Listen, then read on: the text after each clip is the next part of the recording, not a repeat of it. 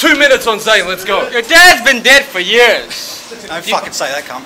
Do you miss him so de- do you miss him so desperately Yeah, I fucking do. that you have to take out all your anger all, all your anger on my ethnicity? Take it in your face, cunt. For real, your dad I say this respectfully. Wait, wait, wait. He was a man of integrity. You lied and said Melodramatics was Muslim to win successfully. You piss on everything your dad stands for. You piss on his legacy. I'll piss on you like you piss on your dad's legacy. And what's funny is that you're not sure about your own dad's identity. Check. Oh,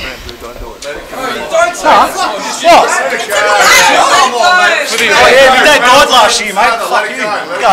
For the event, bro. Yeah. Sweet. So his mom had what his dad referred to as an unplanned pregnancy.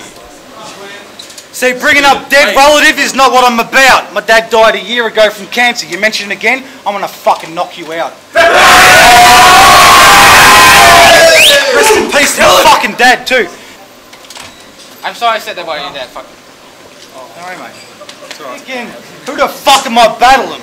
This shit is retarded. I can't even pronounce his name. I'm thinking Zayn Rodriguez Ra. Fuck it, I'm dissing Azari. Only because dissing Azari rhymes with Mr. Miyagi, lucky you ain't scared of no kicks and karate. You're so fucking fat your tits need Pilates. CorruptAustralia.com.au Buy that shit. Rest in peace to Planz' as dad, for real.